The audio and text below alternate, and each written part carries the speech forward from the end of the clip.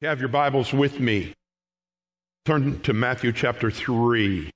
Matthew chapter 3. We have just begun going through the book of Matthew. Uh, if you're a guest here today, uh, we like to go verse by verse and line by line. And I uh, know it's going to, we're going to be there a while in Matthew because of 28 chapters and uh, the Beatitudes and the Lord's Prayer. There are just so many things in Matthew. I just can't wait to get to. Uh, it's just great, great uh, reading and great application. Let me give you the outline if you have a bulletin and want to follow along with us. I'm speaking today on John the Baptist. John the Baptist. Number one, simple outline the man. The man. Number two, the message. What was his message? And number three, the Messiah. And we know who the Messiah is. John the Baptist was born into a simple, obscure family. His father was Zacharias, a temple priest who ministered in the temple. His mother Elizabeth was also from the priestly tribe of Levi and a descendant of Aaron, who was the first high priest. John lived in the wilderness of Judea, not having social or economic status.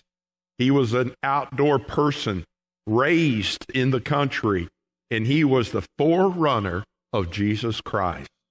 John's calling was to proclaim and to prepare the way, prepare the way for the Messiah. In doing this, Matthew 3 shows us John the Baptist as the man, the message, the motive, the mission, and the ministry of John. For over 400 years, the nation of Israel had not heard from a prophet. Things were about to change with John the Baptist's ministry. Revival was about to break out. This would get the attention of the scribes and the Pharisees. Let's look at this country preacher that was extremely bold in his witness and preaching. And by the way, it'll be shown here three times. The key word for our passage today is repent or repentance. And what that means is a change of heart, a change of mind, a change of will, and a change of behavior. And there's uh, things going around today uh, in the churches, and there's a thought that simply says that all you have to do is to believe if you're going to be a Christian. But, folks, passages like this tell me you must do more than just believe. Okay? What it's saying and what it is talking about is it begins with repentance. And we don't even use that word very much. But we need to repent, even in our Christian lives. We need to repent of our sins. At salvation, we need to repent. And another thing that they, they leave out many times is making Jesus Lord of your life. Folks, he needs to be Lord and Savior. And so we look at John, and he was a very different individual. Uh, matter of fact, if you looked at him from the outside and he came to Jerusalem, and he wanted to join your church, you'd probably say, oh, I'm not sure about this. We can see in the text, he did not look like your normal uh, preacher. Matthew 3 1. In those days, John the Baptist came preaching in the wilderness of Judea. He was away from Jerusalem. He was away from the temple. He was away from the scribes and Pharisees. He had his own ministry. And by the way, I want to say this I thank God for country preachers. These guys that are, you know, don't have, you know, large churches, but I am telling you, God will bless them as much, if not more, for being who they are, where they are at. You don't have to be a mega preacher. And I'm just telling you, I thank God for bivocational preachers also. And here, uh, 30 years have passed from Matthew 2 to Matthew 3. That's very important. And John's nickname was John the Baptist. And let's look at his life. Turn with me to Luke chapter 1. Luke 1. Luke chapter 1, and we're going to start with verse 5. Luke 1, verse 5 says, There was in the days of Herod, the king of Judea, a certain priest named Zacharias of the division of Abijah. His wife was the daughter of Aaron, and her name was, of the daughters of Aaron, was Elizabeth.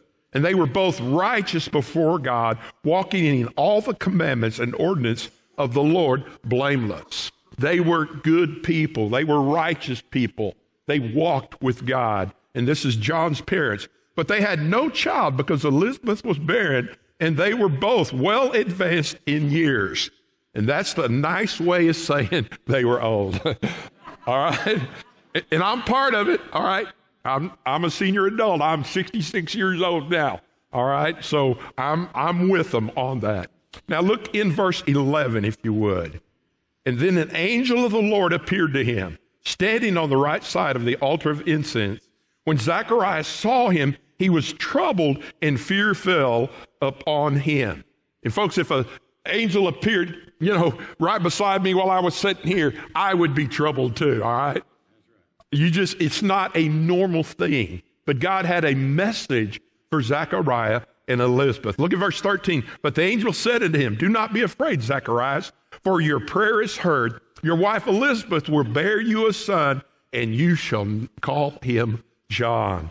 And we know John uh, means Jehovah also. And you have joy and gladness, and many will rejoice at his birth. For he will be great in the sight of the Lord, and he shall neither, neither drink wine nor strong drink. He will also be filled with the Holy Spirit, even from his mother's womb. So there's two things. Number one, he's going to be great in the sight of the Lord. See, we tend to want to be great in the sight of man. But boy, it is more important, folks, to be great in the sight of God. And to be filled with the Spirit is a must for Christians. And he will turn many of the children of Israel to the Lord their God. He will also go before him in the Spirit in the power of Elijah to turn the hearts of the fathers to the children and the disobedient to the wisdom of the just and to make ready for a people prepared for the Lord. So he was a forerunner of Jesus Christ. He was compared to Elijah, one of the most famous prophets in the Old Testament. Now, skip down to verse 57.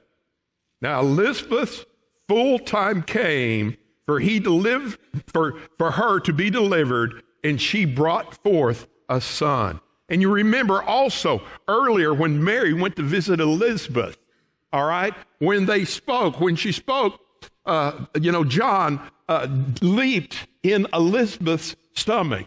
Let me tell you something, folks. I'll say it to the day I die. Life begins at conception. God said, I am setting this guy apart. I am setting this baby apart. Same thing with Jeremiah. Before he was born, God said, You are going to be a prophet of mine. So we see all this going on. Now look in verse 65. Then fear came on all who dwelt around them, and these sayings were discussed throughout all the hills of Judea. And all who heard them kept them in their heart, saying, What kind of child will this be? And the hand of the Lord was with him. Now his father Zacharias was filled with the Holy Spirit. Oh, folks, John was going to be special.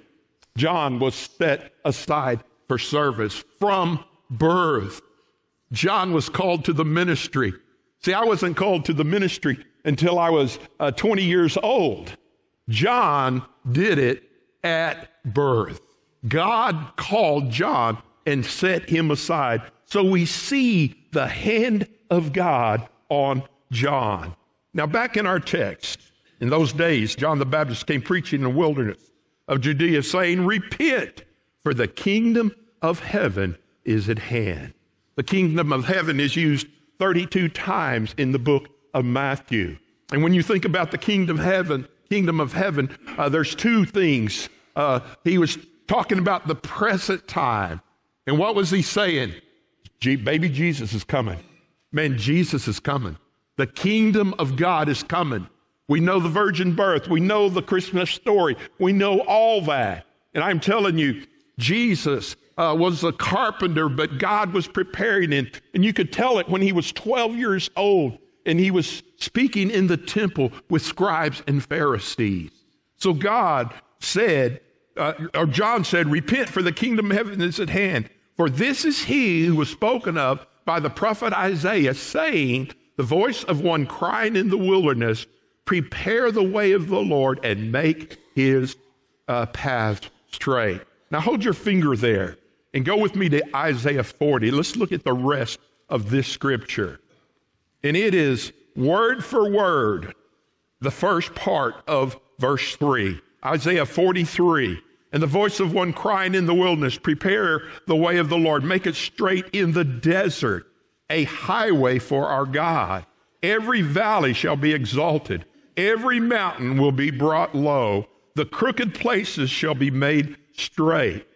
It is a prophetic theme of what is going on, not only in John's life, because he was preaching, man, you need to be saved. Christians, you need to get right with God. He was preaching, and, and he was preaching against sin. And folks, I am telling you, uh, you know, there's not that much preaching against sin anymore. Sin is sin. God hates sin. We don't need sin in our lives. It pulls us down, it weights us down, and sometimes we are ineffective because of sin. And it says, the crooked places shall be straight and the rough places smooth. And it could also be a reflection of the tribulation time. Think of this. The glory of the Lord shall be revealed, for all flesh shall see it together, for the mouth of the Lord is spoken. Could that not be talking about the millennium period also? That thousand year reign here on earth where, where Jesus is going to reign from the city of David. That perfect time. And it says, the voice cry out, and he said, Why shall I cry? All flesh is grass, and all its loveliness is like the flower of the field. The grass withers, the flower fades, because the breath of the Lord blows upon it. Surely the people are grass. The grass withers, the flowers fade, but the word of our God stands forever. Amen. I had a just a great moment Thursday night. And you know what it was? I mowed my grass. you say, well, why is that great? Because the frost came and I'm not going to have to mow my grass anymore. I was happy. But you know what they're literally saying? He's saying, listen, folks, we're just grass. You're not living forever. You don't have as much time as you think you have. So, what you need to do is listen to the word of God.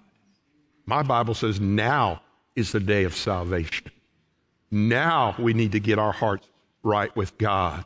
Folks, if you look over at Israel and all that is going on in the countries that are turning against them, if you will look, and, and again, folks, uh, you know, the election and all that's going on, God is going to get the person in that God wants in. Okay? It's a God thing. We need to vote. We need to vote. But I'm simply saying God has a plan and Jesus is coming. The rapture of the church, I believe, is the next thing on God's prophetic calendar. Why? Because the Word of God says so. So now let's look at verse 4. Now, John himself was clothed with camel's hair, with a leather belt around his waist. His food was locusts and wild honey. I bet he was fit and trim. Man, I'm not sure I could put a locust in my mouth, even with honey on it. All right? Then Jerusalem and all of Judea and all the region around the Jordan went out uh, to him and were baptized by him in the Jordan, confessing their sins. And it's talking about the Jordan River. It's talking about him pe- preaching repentance. And there was indications in other texts that I read that you would not be saved if you had not repented of your sins. And so there's this thing going out. You know, it wasn't in Jerusalem, it wasn't where the population was, but literally hundreds of people were going and they were hearing about John, and someone even, some called him John the Baptizer. And this was going on, and I'm telling you, revival broke out. Revival broke out. And, and even the, the ones, the scribes and the Pharisees, showed up. So we see John the man. He was a preacher, preaching in the wilderness, telling everyone, man, you get right with God. You invite Jesus into your life. Your life needs to change. People need to see a difference in your life. So we see the man, and now let's look at the message. Verse 7. But when he saw many of the Pharisees and Sadducees coming to his baptism, he said to them, Brood of vipers, who warned you to flee from the wrath to come? See, this is part of why I believe, you know, you know, some people have in, interpreted that, that uh, scribes and Pharisees were being baptized, but I don't believe that's what it's saying. They just came out to see what was going on.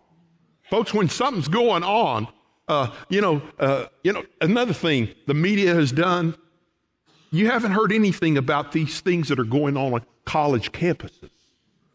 Hundreds of people are being saved at rallies, but it's not covered. Why? Because the, the yeah, the world don't want it happen. Man, when college kids, folks, th- these are intelligent people. These are people that give their life, and they're going to be our next working crew. And folks, if we could see this and pray for these things, and literally in, in some campuses, thousands were saved. We ought to be shouting that from the rooftop. But it's not politically correct. Well, let me tell you something. I don't want to be politically correct. I want to be biblically correct. What does the Bible say? Folks, we better get ready. We, I am not a doomsday preacher. I'm a realist, folks. And it's in my bone. I'm telling you, it's just something. When it gets in my bones, I, you know, I'm just telling you, be ready. Sadducees coming to his baptism said to them, Brute vipers. You know what he was saying? You're a bunch of snakes. Vipers are snakes. All right? I mean, Paul, remember he got bit by one. Nothing happened to him because when you get bit by a viper, you are going to die. So, so John carefully said, listen, you guys are bums. You, you have your robes on. You come out and you, you know, pray on the street corners. You do all these things, but you take advantage of widows. You take advantage of people. You act like you're better than everybody else. Don't come out here and mess my revival up. I mean, that's what he was saying. Who warned you to flee from the wrath? Therefore, bear fruits worthy of repentance. He said it again. If you don't want to repent, don't come. Folks, that's bold preaching. He wouldn't be on TV today. Why? He tells too much truth. All right? And do not think to say to yourselves, we have Abraham as our father. Oh, folks, that was the deal in that day. Because they were born with a Jewish heritage and they were God's chosen people, some thought, hey, we're going to heaven just because we're Jews. The Bible shows that's not seen in the Word of God. I don't care if your daddy's a preacher, a deacon, or teaches a Sunday school class.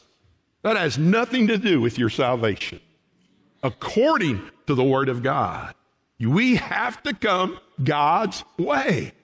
For I say to you, that God is able to raise up children to Abraham from these stones. And what is he saying? Here's what I believe the interpretation is that their hearts were made of stones, that they have already rejected the Messiah. Okay? And he was just simply saying, you, you are wasting your time. You don't decide when you get saved. God calls you to salvation. And they were more worried about their appearance. They were more, more worried about being r- more righteous than someone else. Folks, when are we going to quit looking at one another and judging one another and trying to figure out who's spiritual and who's not? Let me help you today. We're all not spiritual in some sense. We all have shortcomings, but that doesn't need, mean we need to stay that way. These folks John was just simply saying, man, y'all need to change. And unless you change, you will not spend an eternity with God. Look at verse 10. Even now, the axe is laid to the root of the trees. Therefore, every tree which does not bear good fruit is cut down and thrown into the fire. What good is a fruit tree if it doesn't bear fruit? And you can say maybe a little shade, but it's still taking the place of where you could plant a new fruit tree and have fruit. And he's just saying, you say the right things, you do some of the right things, but there is no fruit in your life. And he says, you might as well take an axe and chop that tree down because you are not saved, is what he is saying. Therefore, every tree which does not bear fruit is cut down and thrown into fire. And, and he is simply telling us, folks, we have to look at this. We have to understand, folks, this is John's message. Folks, salvation hasn't changed. From Genesis to Revelation, it speaks of salvation. And we do not need to change the Word of God. We do not need to give our opinions about salvation. It is clear you have to come to Christ. You, you have to uh, ask for forgiveness of your sins. You need to repent of your sins. And that is the message. And so we see the man and we see the message. And the last thing I want you to see is the Messiah. Look at verse 11. Indeed, I baptize you with water unto repentance, but he who is coming after me is mightier than I, whose sandals I'm not worthy to carry. What is he saying? He said, Yes, I baptize you water, but with water, but it's in the Jordan River. And we know that baptism was a thing of identification. The Holy Spirit came down at the day of Pentecost. Peter got up and preached a straight salvation message. 3,000 people got saved. And the Bible says those that received Christ gladly were baptized. And so we identify, we identify church membership by baptism. And folks, I'm just telling you, uh, you know, we have to do it the way God says. He says, be baptized. And again, the word baptism literally means immersed. I'm not trying to put anybody's religion down, but I'm just telling you, Baptists don't take sprinkles. It's, it's not a sprinkle. When someone dies, you don't sprinkle dirt on them. You put them all the way under. And the, the, the uh, I really didn't mean that to be funny. I mean, you put some dirt on them, but I'm just saying you don't just sprinkle a little dirt on them. Let me rephrase that. But even baptism is a picture of a death. Mike Franklin walked into that water. Mike Franklin died to Mike Franklin. Mike Franklin now serves God and serves Jesus with all his heart. And we're buried with Christ in baptism, raised to walk to the newness of life. See, John, forerunner of Jesus, was initiating uh, scriptural baptism, folks. So we can see how important that is. And then he mentions Jesus. He, and he's just simply saying, you know, I know there are a lot of folks out here. I know right now I'm a popular guy, but I can't hold a light to Jesus. All right? Me neither, folks. I can't either. He was the perfect Son of God. But do you know what it showed? Uh, it showed humility in John's life. If there's something this world is missing, it's humility. Folks, we are so proud. Our athletes, are you kidding me? $60 million a year to play football? Folks, we must humble ourselves before God. It doesn't matter what you make. Every one of us are going to stand before God one day. The rest of that verse, and he will baptize you with the Holy Spirit in fire. And we know when the baptism of the Holy Spirit, Jesus left, the Holy Spirit came down on the day of Pentecost, clovens of fire. But that's not what he is talking about there, in my opinion. The Holy Spirit baptizes us when we get saved. The minute we repent of our sins and invite Christ into our lives, the Holy Spirit comes inside of us. And it's with us all the time. Now, there's a difference in having the Holy Spirit in a manifestation of the Holy Spirit. Everyone that saves is saved has the Holy Spirit. But manifestation has to do with the filling of the Spirit, being fired up for Christ. But you know what I think the fire means? I think it's talking about judgment. If you don't have the Holy Spirit, you will stand before God. And fire, uh, uh, especially in Revelation, speaks of judgment. His winnowing fan is in his hand. He will thoroughly clean out the threshing floor and gather his wheat into the barn, but he will be burned, he will burn up the chaff in its unquenchable fire. And I've never been a farmer. I was born in Lawton, Oklahoma, lived there for my first 36 years. I've lived here uh, for the years, you know, the 30 now. And so, you know, I don't know thoroughly what went on, you know, in, in the separation. Okay, apparently some did it by wheel. They'd have a wheel and they'd smash of the grain and, and it would separate that way and they would pile that up. And then when the wind blew, they threw it up and the chaff was light because it wasn't a part of the seed. And the chaff would just blow away.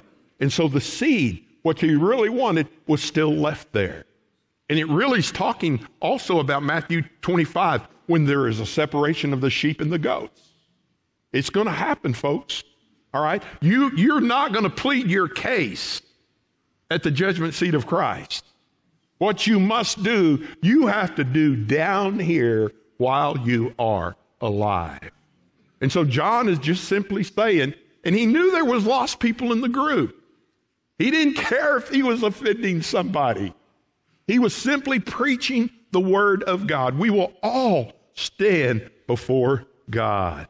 But the question I have to ask myself is, what was, what was John? What, what was his whole deal? I mean, in that day, you know, they compared him to Elijah in that day. Matter of fact, just shortly before this scripture that I'm fixing to read, he was in prison. And if you remember, he just said, he sent a message and said, Hey, tell Jesus, you know, is he the true Messiah or is he not? Folks, even Christians have some doubting times. But he said, and Jesus told him this go tell him that the lame are walking, the blind are seeing. God is doing a work in the lives of people. People are being saved, people are uh, being changed. Revival broke out in that first century church. And John, I'm just telling you, was, you know, for who he was, uh, the limited scope that he had. He walked everywhere he went. He didn't have a huge population uh, you know, around him. I'm telling you, listen to what God, what God and Jesus said about John. Matthew chapter 11. Look at Matthew 11. Matthew 11, verse 9. And this is Jesus speaking. But what did you go out to see? A prophet? Yes, I say to you, and more than a prophet. For this is he whom is written Behold, I send my messenger before your face, who will prepare your way before you. Being the forerunner of Jesus Christ, he said this Assuredly, I say to you, and this is Jesus' word, among those born of women, there has not risen one greater than John the Baptist. He was humble, he was faithful, he preached the truth, he lived the, live uh, the Christian life. He wasn't afraid of the scribes and Pharisees. He wasn't worried about how much money he made or who was there or the criticism that he had. Jesus, man, I wish I wouldn't, you know, for, you know, all I'm looking for, all right, because I know I'm not the greatest, you know, there's no doubt in my mind about that. I just want to hear God say, Thank you, my good and faithful servant. The Bible says, But he who is least in the kingdom of heaven is greater than he. And then he kind of just, you know, was just basically saying, folks, God loves everyone. But the Christians, you know, that he's going to take to heaven, I am just telling you, folks, they are the one that has the peace of God in their lives. They are the ones that has that assurance. Steve, when we sang, when we closed, or, or excuse me, Denise, when we sang, we close our eyes in death. Folks, I am telling you, there's two things that I am looking forward to either the rapture of the church or just passing from life to death. Folks, it's graduation day. It is graduation day. The last scripture I want to read is Matthew verse 28. You say, Brother Mike, what, what are you all fired up about? Well, I'm fired up about we should be like John. We should be like John the Baptizer. Everyone needs to know Jesus is coming soon. Everyone needs to share the gospel of Jesus Christ with others around them. Matthew 28, and I closed, And he came and spoke to them.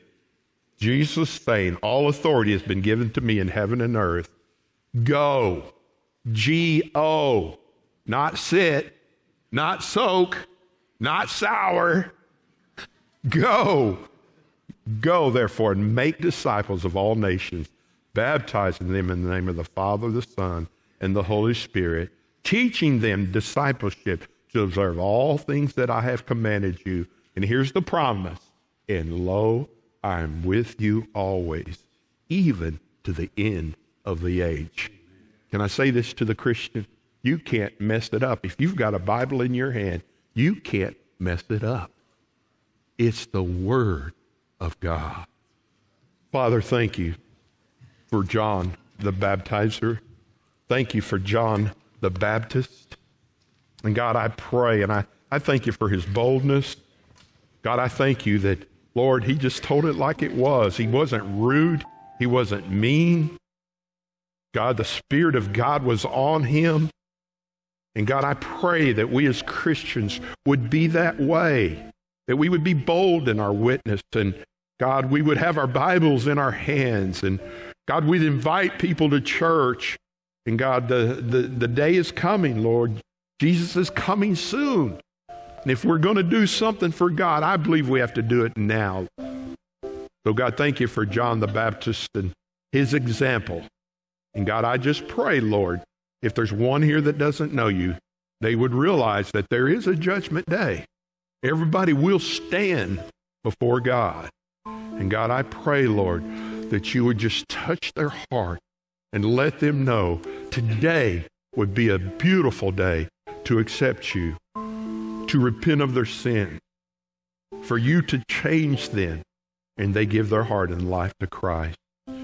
Lord, if there's Christians that need to rededicate their life, if there's people here that need to be baptized, we're going to look at the baptism of Jesus next week. And it's important. It's important that you follow the Lord in baptism. So, God, if there's others who want to join this church, they know who we are, they know what we're about. And God, if, if they are Christians, if they have been baptized, God, we will welcome them with open arms. God, this is your invitation. This is your church. You do with it what you choose. In Jesus' name I pray. Amen. Would you stand to your feet? If God has spoke to you, would you come?